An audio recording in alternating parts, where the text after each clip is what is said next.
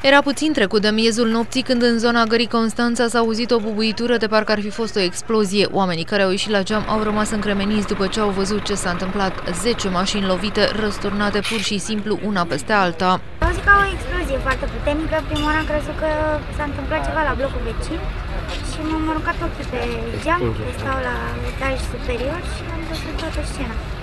Și era un domn în vârstă care uh, striga după ajutor. A venit despre gară o doamnă și că a rămas cu piciorul pe accelerație și a ras 11 mașini de aici până în mijlocul băncii acolo, adică parcării din bancă.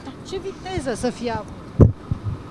În jur de 150 și mai mult. Altfel n-avea cum să nu, nu radă așa. Femeia a pierdut controlul mașinii și a dărâmat mai întâi un stâlp, apoi a avariat autoturismele parcate. Cel mai probabil, șoferița avea viteză. Un prieten mi-a spus. Mi-a spus că a găsit pe poza pe infotrafic, ceva de genul. Cu mașina ta. Cu mașina mea, da, bineînțeles. Ai văzut-o? nu am cuvinte, nu știu. Nu, nu pot să înțeleg cum, cum ne s-a întâmplat chestia asta. Mai poți recupera ceva din ea? Nu cred. Nu cred. Daună totală. Aveți două mașini lovite? Da, nu lăsați un Care dintre ele? Asta neagră și cu aia la altă neagră de acolo. Și m-a sunat un coleg și mi-a zis că sunt praf făcute. Eu am crezut că e o glumă, da.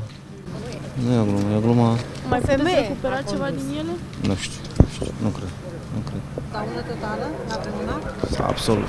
Polițiștii vor stabili însă cu exactitate viteza în momentul impactului după o expertiză amănunțită. Și ce măsuri s-au luat?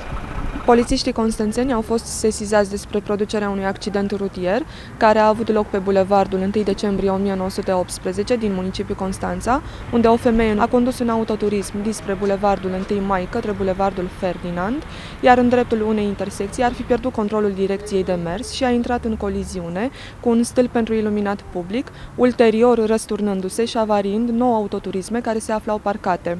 În urma accidentului rutier a rezultat vătămarea corporală ușoară a conducătoarei auto. Deși nu a suferit decât răni superficiale, femeia de la volan a fost dusă la spital pentru investigații. Se pare că șoferița nu consumase băuturi alcoolice. Pe numele ei a fost întocmit un dosar penal pentru distrugere.